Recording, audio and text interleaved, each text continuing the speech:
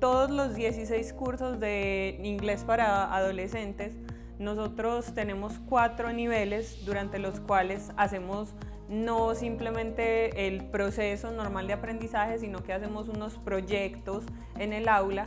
Decidimos modificar y adaptar estos proyectos de modo que pudiéramos trabajarlos de una forma un poco pues, más cercana a esa perspectiva del aula invertida.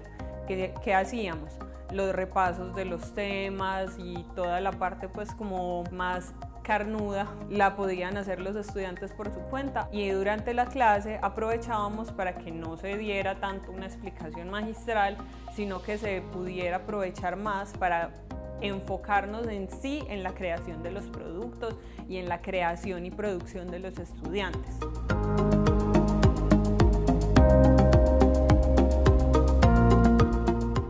Identificamos pues por un lado, que hubo un poco más de interés por parte de los estudiantes al poder acercarse a estos proyectos que pues realmente son varios productos. En algunos casos pues hay muchos muchachos que están un poco predispuestos y se incomodan cuando tienen que hacer como ciertas actividades, sobre todo estos que son tan manuales como los cómics y demás.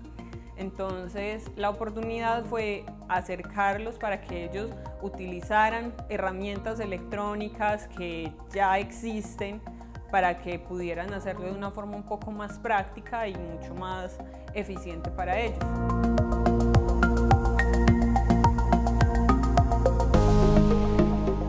Realmente el estudiante se ve obligado a hacerse responsable de su propio proceso, a saber qué es lo que tienen que hacer, cuándo tienen que hacerlo y a manejar su propio proceso.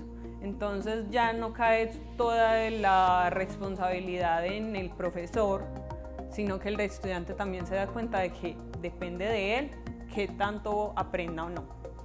Fuera de eso, creo que eso al mismo tiempo implica aún mayor responsabilidad para el docente, porque no es simplemente ir a impartir una clase.